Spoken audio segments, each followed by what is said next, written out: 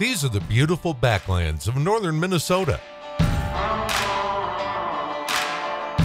The snowmobile trails near Princeton are the perfect playground for Rob Skuza and his family. I love red snow. It's something I've done since I've been a little kid. I've been very fortunate, and it's just it gets me outside where we can hang out and just just have a lot of fun. Their day of riding began right here in Skuza's self-described man cave. And we have a little bit of uh, Vegas here in the man cave, and it's uh, we have a free play slot machine. It's just all for fun. A flag from my father, who I was very proud of. He was in the Air Force, received this when he, when he passed away.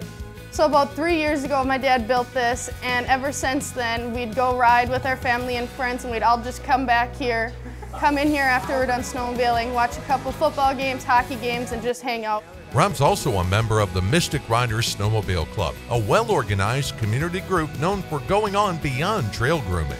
We have about 80 members. Um, we give scholarships to the, to the high school students each year. On this day, the temps are a brisk 20 below and not rising. The Skuzas know you must simply dress for the weather, and FXR gear is how you do it. Here is where we get dressed for success, the man cave closet. Uh, with today's weather, the layering on the snow pants and stuff is very insulated. Well, I know the goggles are gonna fit perfect within my helmet, keep my, uh, my face warm. It's windproof, it's waterproof, it's, it's not like the old days. The, the clothing has gotten thinner and thinner, but yet warmer. Where do you going? You're gonna head towards Grandy, go have chicken at the brass Trail. Where do you wanna go? That sounds good. Yep.